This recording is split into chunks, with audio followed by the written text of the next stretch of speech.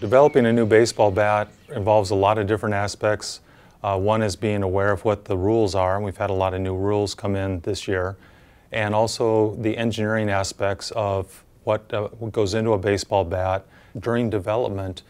we'll test in our bat cannon, so we'll fire balls at the bat up to a couple hundred miles an hour, and we'll test and measure the sound and also the vibration of the bats and that allows us to get a quantitative uh, measurement of what those, those parameters are for the bat.